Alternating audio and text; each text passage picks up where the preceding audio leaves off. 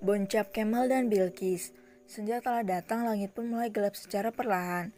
Bulan purnama yang indah ditemani oleh bintang yang berkelap-kelip membuat suasana semakin romantis. Apalagi bagi pasangan yang baru saja dikaruniai anak oleh sang pencipta, Mam Mam Mam, bayi cantik dan mungil itu tak berhenti mengoceh seraya mendusel di tengah dada ibunya, memberi tanda bahwa dirinya telah kehausan. Bella haus ya sayang, tanya Bilkis tersenyum manis membelai pipi gembul sang anak. Bilkis dengan telatan membuka kancing baju piyamanya lalu memposisikan ujung dadanya tepat di mulut Bella. Kamu cantik banget sih sayang. Nanti waktu gede jangan cantik-cantik kali ya, karena mama takut kalau papa lebih menyayangimu daripada mama. Ujar Bilkis tersenyum manis menekan hidung mancung putranya itu. Kemal yang baru saja keluar dari kamar mandi tak sengaja mendengarnya pun tersenyum geli, karena Bilkis benar-benar posesif padanya. Dia juga tahu Bilkis benar-benar menyayangi Bella, bahkan pernah sekali Bella demam membuat Bilkis kalang kabut, bahkan ia sampai tidak tidur selama sehari semalam hanya untuk menjaga Bella. Kamu tetap nomor satu di hatiku loh, percayalah padaku. Cuma kamu satu-satunya ratu di hatiku. Balas Kemal memeluk tubuh Bilkis dari samping.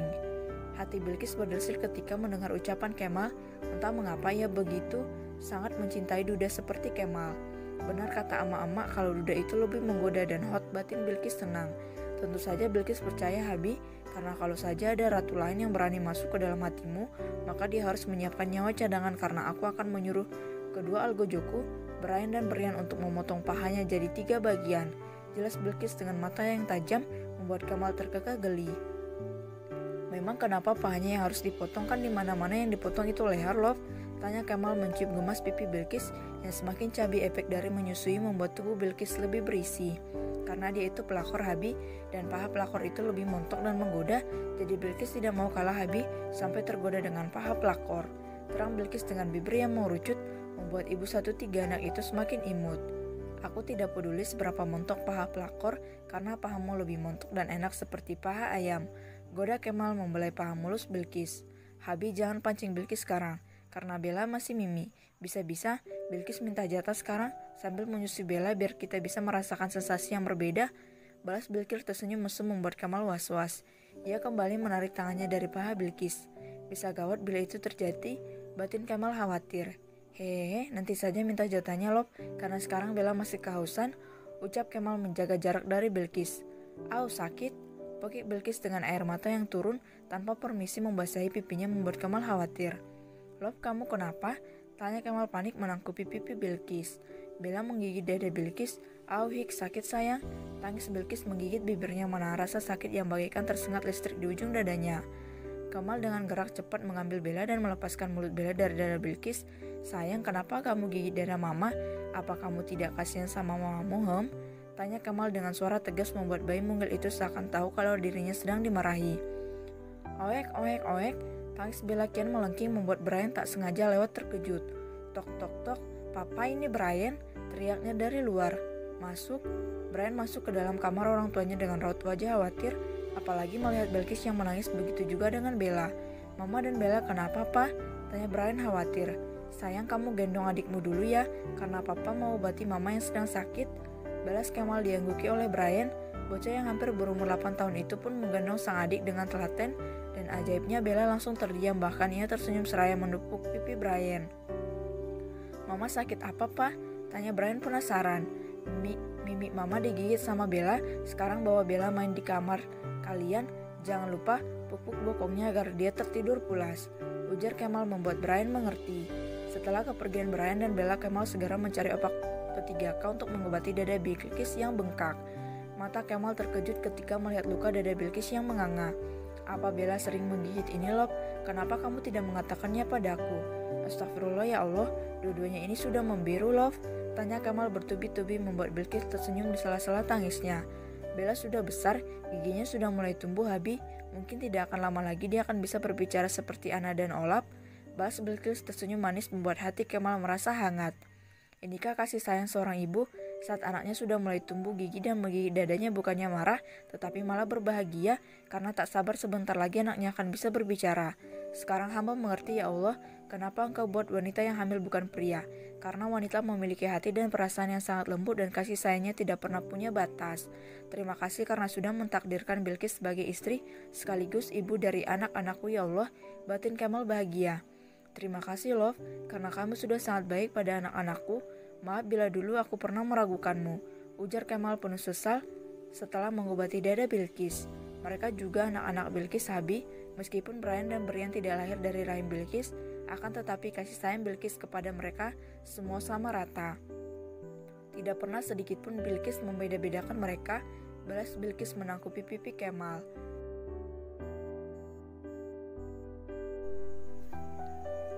Boncap Dimas dan Alexa Di sebuah rumah mewah, seorang wanita cantik memakai baju daster sedang memasak. Ia tersenyum manis sambil mengaduk nasi goreng di dalam wajan. Selamat pagi bunda. Dimas memeluk pinggang ramping Alexa dari belakang yang meletakkan dagunya di pundak wanita cantik itu. Pagi juga papa. Balas Alexa mengucup bibir Dimas sekilas lalu melanjutkan aktivitasnya tanpa merasa terganggu dengan kehadiran Dimas yang memeluknya. Lagi masak apa bun? Tanya Dimas manja mengucup leher jenjang Alexa. Bunda masak nasi goreng kesukaan papa juga Asa.